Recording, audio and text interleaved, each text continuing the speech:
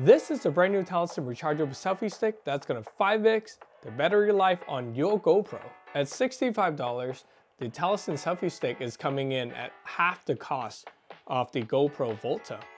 In this video, we're gonna compare some of the key facts between these two grips and my personal user experience to help you decide which one you should be picking up. Hey, if you're new to the channel, welcome. I review affordable camera gears and also make easy tutorials that will help you capture your next big adventure. So consider subscribing if this is your thing. Speaking of adventure, I took the Telesin rechargeable selfie stick with me to Yosemite National Park to document some of the behind the scenes for my photography trip. It turned out really well, but we also faced some unpredictable weather and some rain, actually a lot of rain. This is a tunnel view. It's still really spectacular in the rain. Never seen it in the rain before. Hoping it will be snowing, but hey, you get what you get. So what's in the box? You get the selfie stick, you get the GoPro mount right here, and also you get a bunch of accessories here, including a pass-through GoPro battery door and also a universal phone mount as well. The selfie stick comes with a 10,000 mAh rechargeable battery that roughly gives you about five times the battery life on a GoPro. You get around six and a half hours of shooting time if you're recording at 5K 30 frames according to Telesin's website. Because it supports Quick Charge 3.0 and it does supply up to 18 watts of power, yes, it does mean that you can power your GoPro without the battery inside. However, I really wouldn't recommend it just because batteries are cheap nowadays, you can easily replace them, but your footage are priceless. Another great feature is that you can charge two devices at once. You can charge it from here on the very top, and also there is a little USB door at the very bottom right here where you can plug in your second device using a USB-C to a USB-C cable. What it means is that you can charge your phone and your GoPro at the same time. However, keep this in mind, if you're using dual charging, it takes away the quick charge function on both devices because you're sharing that power. Telesin also claims that this selfie stick is IP52, meaning it's dust and drip proof. Rain that falls on it, you just wipe it off, it's okay. But if you drench this in wet snow or water, this is going to break. As you can see in the video, I did use this combo in some medium to heavy rains in Yosemite, and this selfie stick held out just fine.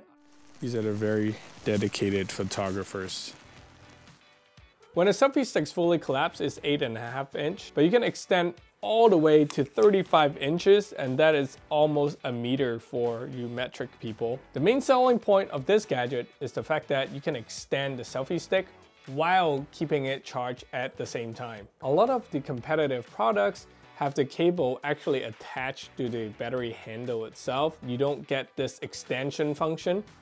There has to be a cable that's built inside here to allow this charging function to be able to extend all the way to 35 inches, right?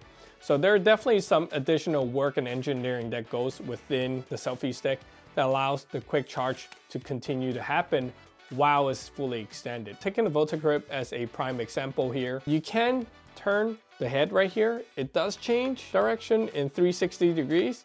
However, it's not extendable and this charging cable is stuck on the body. If you want the selfie stick function, then the Telesin is the way to go. The Volta, you can do it, but it's not really built for that. Let's talk about some of the things I really like about the Telesin selfie stick. Number one, it has rubbery grip. Now that goes both ways sometimes. Long-term situation, that rubbery grip could get all sticky and tacky. I'm sure you have experienced that before. But for now, I really do like that touch because it does provide you with good grip and also great ergonomics. Number two, I like the fact that it has a built-in tripod mount at the very bottom. So if you want to go crazy and extend it even more with another selfie stick, you can, or you can simply mount a mini tripod like this, and now you will have a tripod function and you'll be able to walk away from the camera to get more dynamic shots. Number three, the 10,000 milliamp battery capacity not only provides five times the GoPro battery life, but also doubles as a charger for my phone. Really comes in clutch when it comes to minimalistic traveling. Number four, it supports Quick Charge 3.0. Not only would it charge your camera faster, it also charge your phone with fast charging as well. And this is very important if you want to use this as a power bank on the side, because who wants to wait forever for your phone to get charged, right? Number five, not to state the obvious of the main selling point, which is the selfie stick. Selfie stick by itself is not new. But when combined with a GoPro Hero 11, for example, that can shoot 5K 60 with horizon lock and also auto boost on, it does crop into the image a little bit. So without sacrificing that wide angle look that I want, all I needed to do is just extend the selfie stick to as much as I want to get that same angle. So now I get the best of both worlds. I don't have to sacrifice frame rate. And at the same time, I keep the stabilization to the max. Is it a full Husky? Oh, it's gonna be big, huh? Right before sunset, you'll see people with tripods just lining up right here, uh, trying to get the sunset dome shot. I have uh, like 10 or 15 different shots that I printed. On to the things I don't like so much about the grip. Take a look at these two.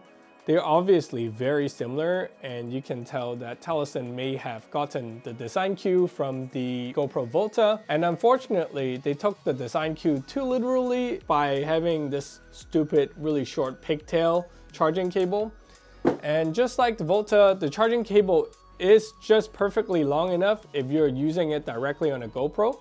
But as soon as you plug it into the media mod this cable has to stretch out and becomes too short. The second thing I don't like so much is the size. If you look at the GoPro Volta, I mean, this is a pretty nice size. This thing in comparison looks like a beast. Given the fact that the Telesin selfie stick has a bigger battery capacity and also pretty much a one meter long selfie stick hidden in here, we can easily justify the size. I would like to see a mini version that has the same battery capacity, but maybe just a tad bit smaller and shorter selfie stick. I think the one meter long selfie stick is a bit of an overkill, especially when a GoPro is already wide enough of an angle. This might be nitpicking at this point, but you can kind of see a little bit of a gap here. And even when you fully collapse it, it's sometimes it's, there's just a gap. It's not, uh, it kind of irks me. It's not a big deal, it does not affect the function. Whenever it's not fully aligned, it won't collapse correctly which bugs me sometimes. So this is a very simple device, right? It's basically a rechargeable selfie stick that charges your camera. That's pretty much it. There's no built-in tripod, there's no built-in Bluetooth remote controller. If you want that, you need to look at the Volta. I just wish they would take this guy and this guy, and they have a baby, kind of retain the size of this guy, but have the selfie stick out of here, and allow us to have the Bluetooth remote control. That would be amazing. So at this point you must be thinking, should you be getting the Telesin or the GoPro? Let's lay out some facts to help us build a better picture here. The GoPro Volta comes in at $129 and has a 4900 mAh battery, which gives you three times the normal GoPro battery life and roughly 4 hours of recording at 5K 30 frames per second. When it comes to mounting options, you get a handy built-in tripod as well as a quarter inch tripod mount at the very bottom of the grip. Also get these fun collapsible GoPro finger mounts that pops out and allows you to mount the grip to backpack straps combining with other GoPro mounting accessories. The main differentiator I think for the GoPro Volta is definitely the built-in Bluetooth remote control that works by wire or through wireless connection with your GoPro, the newer GoPros. However, keep in mind this remote will only work with GoPros and do not work with other cameras such as DJI Action. So which battery grip should you get? The Volta comes in $65 higher than the Telesin grip, but you only get half of the Telesin grip's battery capacity and you miss out on the selfie stick feature as well. With $65 savings, you can easily get a separate tabletop tripod and also a third-party remote on the side. In my user experience, the Telesin selfie stick is more versatile in giving me a wider variety of shots as well as longer battery life. If you're a GoPro vlogger or just using the GoPro for travel filmmaking, the Telesin rechargeable selfie stick is the way to go. It's a clear winner here. Hey, if you find this video helpful, please like, subscribe, and let me know in the comments below which grip did you ended up picking up. I'll talk to you guys soon. Bye!